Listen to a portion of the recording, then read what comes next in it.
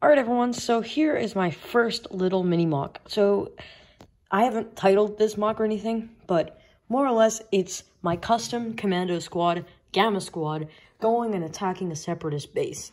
So, um, I, I've, I think I remember all of the, the squad's names. This is Blaze right here.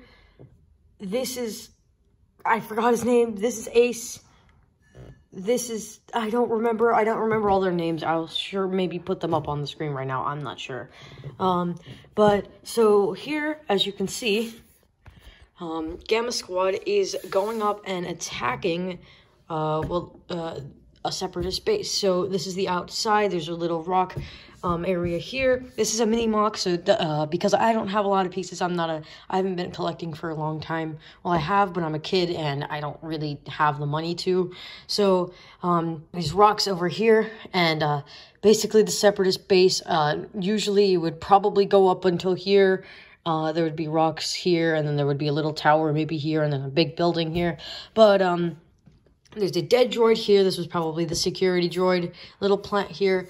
Uh, this is Ace. He's taking a snipe uh, up to here to to when these droids come out. So I have two, four, six, eight droids, uh, eight normal droids, or technically six normal droids and two pilots.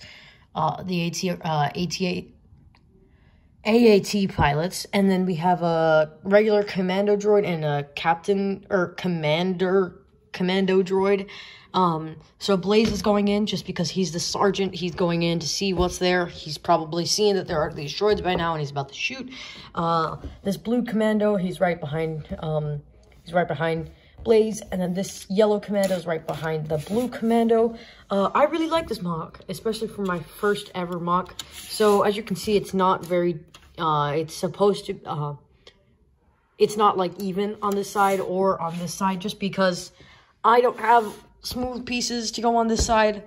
Um, I didn't have that many pieces, so I had to go. I had to use uh, like random pieces and make it smooth on this side, but not on this side, obviously.